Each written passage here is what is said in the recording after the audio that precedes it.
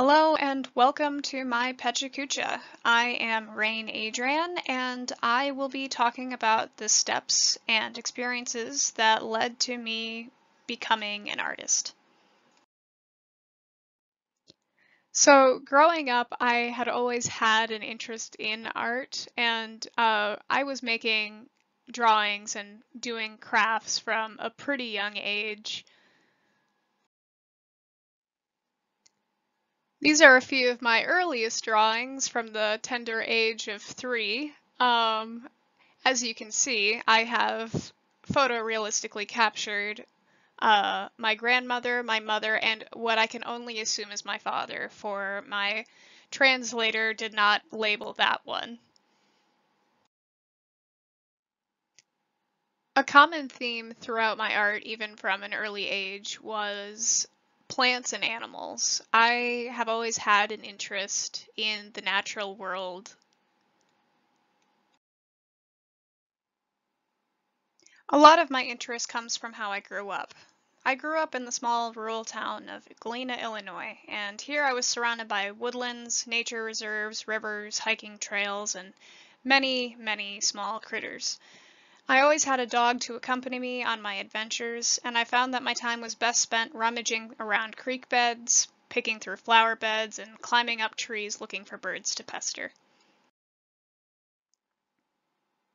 A lot of that love of the natural world is a trait that carries through to today. I love to hike through the forests and rummage around the streams and ponds. I find that I'm most at home in the woods surrounded by trees, and I find delight in finding a common tree frog by my windowsill. So in love with animals, I have taken the liberty to bring much of the outside into the inside. I am slowly but surely surrounding myself with small geckos, intimidating sentient spaghetti noodles, and of course we need to have a cat or two. Um, and I'm excitedly awaiting the day that I can add a dog back into the mix. During the pandemic, these little guys were great company and inspirations. After all, it's really hard to be upset when you're surrounded by goofy little critters doing whatever it is they're doing.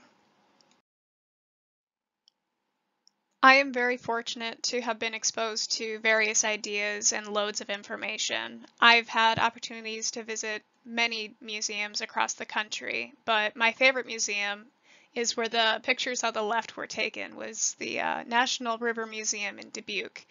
I could give a tour of that museum. I've been there so many times. My opportunities weren't limited to just travel and museums, though. I've had an incredibly supportive family, and a major contributor to my interest in art is my grandma, who is pictured top left. She would take me to all kinds of workshops and provide connections with people within the art community. One such connection was Fran Kennedy, an artist from Dubuque. My grandma and her have been friends for a long time, and Fran was kind enough to show me some of her art making methods as well as how to make some pours. It should be noted that the painting I was working on with Fran is different from the painting that is shown on the far right. Moving into my early college career, I thought I would be working a bit more abstract. So I was doing pours, some abstract patterns, um, flicking of paint, throwing of paint. Um, but I was never satisfied with the outcome because I'm a little bit of a control freak and there's always an element of chance when you work that way. Getting further in, I started taking drawing courses in the middle of my college experience, and this is when I had some of my bigger breakthroughs. Up until this point, I had been drawing what I thought I was seeing, but drawing courses had taught me that I needed to focus on what my eye was actually seeing. It was from there that I discovered that I really enjoyed rendering small details. These are a few sketches out of my sketchbook, and you can see that my love of the natural world has come back into play. I made most of these when I was watching a nature documentary, and I would just pause the video over certain scenes and sketch what I saw. During this time, I was also making discoveries about what kinds of art actually spoke to me. I fell in love with artists that I felt could capture their subjects adequately and was more amazed by their choices of subject matter and how they chose to combine certain elements.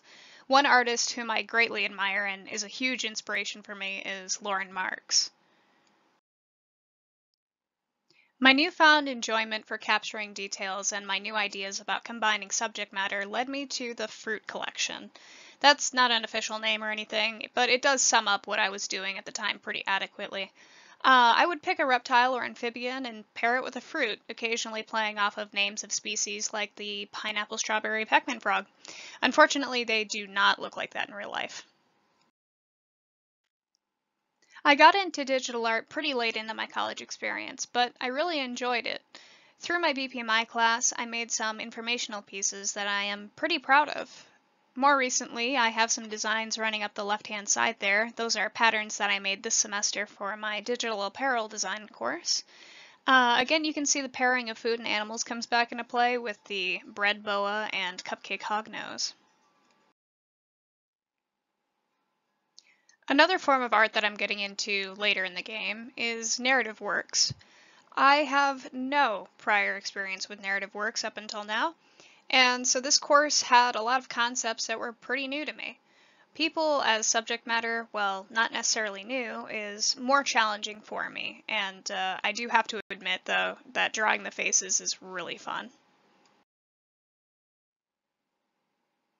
Something that I've been eager to do in the last couple of years was working more with ceramic.